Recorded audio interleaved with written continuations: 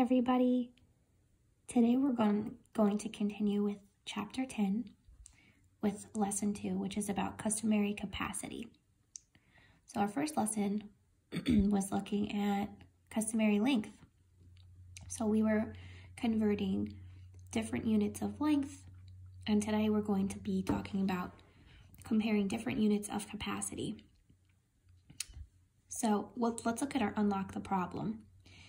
Mara has a can of paint with three cups of purple paint in it. She also has a bucket with a capacity of 26 fluid ounces. Will the bu bucket hold all of the paint Mara has? so what this means is that um, when you see the word capacity, that means that that's how much the object can hold. So right here, you can see the definition. The capacity of a container is the amount the container can hold. So when we're told that the bucket has a capacity of 26 fluid ounces, that means that's the most that that bucket can hold. It can't hold any more than that. So we're trying to figure out if we can fit those three cups of paint in the bucket that can hold 26 fluid ounces. So in order to do this, we're going to have to convert the cups into ounces. So over here, if you'd like to fill this out, what capacity does Mara need to convert? We need to convert the three cups into fluid ounces. This is the abbreviation for fluid ounces. Okay? So after she converts the units, then we're going to have to compare to see if the amount of paint is larger or smaller than the capacity that the bucket can hold. So you're going to be given a chart on the next page. Um, but in the meantime, I'll tell you that in one cup, if you don't already know this, I saw some of you knew it, um, there are eight fluid ounces. So if one cup has eight fluid ounces and we have three cups of paint, the easy way is just to take the one cup and multiply it by eight, I'm sorry, by three to get the three cups. And then what you would do is you would take the eight ounces that are in one cup and multiply that by three. So that would give us 24 fluid ounces. If that doesn't make sense to you, you can always draw a diagram. So let's say we have our one cup, okay? And in this cup, we have eight ounces, okay? So now three cups. We have another cup, this is cup number two. We have another eight ounces. And then in the third cup, there's another eight ounces. So all you have to do is add them or multiply them, and you'll still get 24. Okay, so let's take a look at our first example. the purpose of this example is to show you that sometimes you will have to convert multiple units. Sometimes you can't just convert one nice and easily. Sometimes you have to do more than one conversion before you get to your answer. So here's the chart I was talking about before. It gives us the most common customary units of capacity. So in one cup, we've got eight fluid ounces. In a pint, there's two cups. In a quart, there's two pints. And in a gallon, there's four quarts. So in this example, Coral made 32 pints of fruit punch for a party. She needs to carry the punch in a in one gallon containers. How many containers is she going to need? So she's made 32 pints and she's only got these containers that hold one gallon each.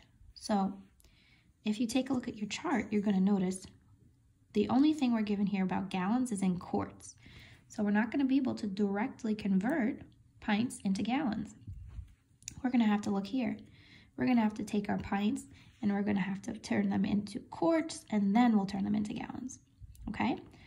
So the first thing we can do, if we're going to look at the total amount of pints that we have, we're going to look at the next thing we know, which is that there are two pints in one quart.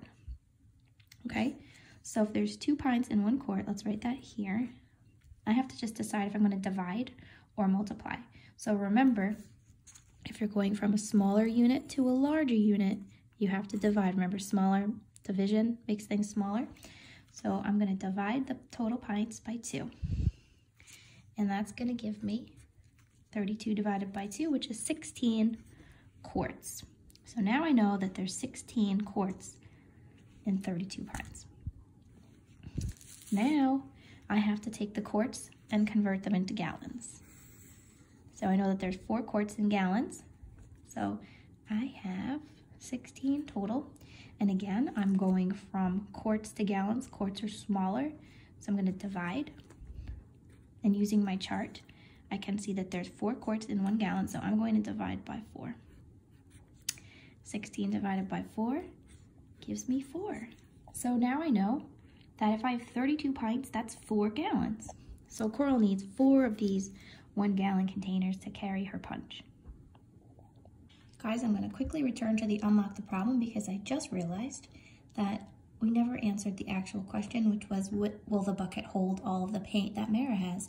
So we found that the bucket, I'm sorry, that the cups, three cups of paint are equal to 24 fluid ounces. So if the bucket holds 26 fluid ounces, then 24 fluid ounces will definitely fit in the bucket. So the answer is that yes, the bucket is gonna hold Mara's paint. Sorry about that. So now we're going to go to the share and show. And what we're going to do is we're going to use the picture to complete the statements. I also included this at the bottom if you're using your notes. Um, if you're using the textbook, this is um, still on the page at the top.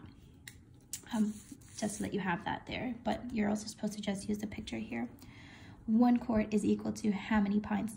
Well, our goal here is that we're going to convert three quarts into pints. So if you wanted to use this, you would be looking at quarts and pints and you would see here you have one quart is equal to two pints. And that would be what you wanted to use.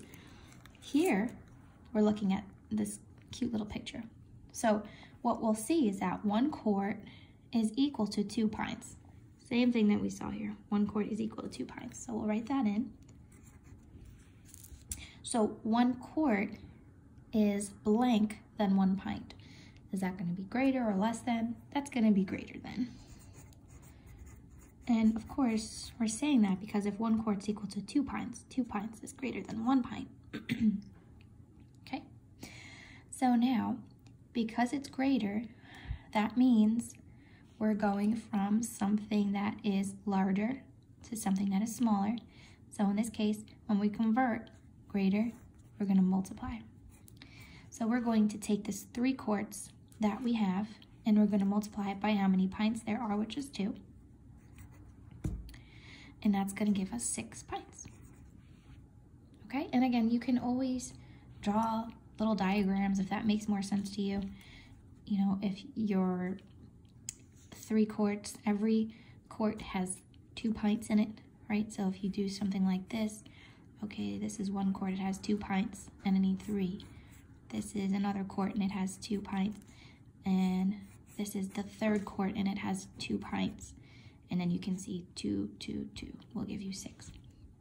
Okay there's nothing wrong with doing that.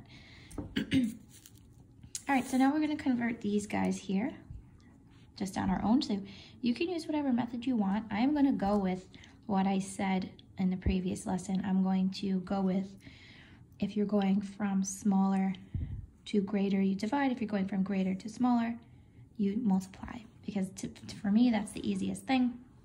And you can use this chart at the bottom. I think you still have it at the top of your page if you're using your textbook. So we're gonna go from gallons to pints. Gallons the biggest one, right? So we're going from larger to smaller. So if you're starting with larger, that means we're gonna multiply. So you can see there's no gallon to pint here. There's gallon to quart, and then there's quart to pint. So we're gonna have to go and do what we did in the previous example where we have to take two different steps. So first I'm gonna convert gallons into quarts. Okay, so I'm gonna take my gallon, I have three gallons, and I wanna convert it into quarts. So I'm going from bigger to smaller. So I'm going to multiply by four because there's four quarts in a gallons, and in a gallon, sorry, and that will give me 12 quarts. Now that I'm in quarts, I can go from quarts to pints. So I have 12 quarts. To go to pints, I'm going from a larger to a smaller, so I'm multiplying. There's two pints in a quart, so I multiply, and that will give me 24 pints. Okay, so your answer is 24. Okay, number three, I'm going from quarts to pints. And again, that is from larger to smaller. so I'm gonna be multiplying. And you'll see you do have quarts to pints right here. There's two pints in every quart. So this one's nice and easy. You just take your five quarts and multiply it by two pints. And you find that there are 10 pints in five quarts. Finally, number six, we're going from quarts to cups. So again, this one is from larger to smaller. So if you look, cups, pints, cups, fluid ounces, quarts is here. So we have to do more than one step. Okay, so you use what you have and you work backwards. So I'm gonna go from quarts to pints first. Okay, so every quart has two pints. So my six quarts, I'm gonna multiply by two. So that means that there are 12 pints in six quarts. And now I'm gonna convert the pints into cups and then I'll have my answer. So there are two cups in every pint. So if I have 12 pints, I'm gonna multiply that by two, and that gives me my amount of cups, which is 24 cups. Hooray. Okay. So again, if this is confusing for you, you can always draw those little diagrams if it helps, okay? I'm gonna have you guys do your the first three questions of the on your own. Um, pause it, try them out, and then you can unpause and I will have the answers ready for you. Um, I've placed this on the top of the page. It's not on the textbook page, but you can look at this or you can flip back to the next page if you need to see them. All right, so why don't you go ahead and pause and give these three a shot. Guys, so if you did these, you'll notice that you are going from something smaller to something larger. And so that means you would be dividing. So for number five, going from cups to pints, you're converting something that's smaller into something that's larger. So if you take a look here, you can see there's two cups in every pint. So you take your 38 divided by 2, and you find that there's 19 pints. For number 6, quarts to gallons, Again, that's smaller to larger, so we divide. Um, there's four quarts in every gallon. So you take your 36 divided by 4 and you get 9 gallons. And finally, number 7, we're starting out with 104 fluid ounces, and that is smaller than cups, so we're dividing 8 ounces in every cup. Divide 104 by 8, and you find 13 cups. Okay, guys, I know that this topic can be pretty confusing, so when in doubt, just remember what I said, going from smaller to larger, divide, from larger to smaller, multiply. And you can always draw yourself a little diagram. All right, so just do your very best with this topic. It does actually come in handy in real life, especially when you're cooking and baking. Okay, guys, have fun.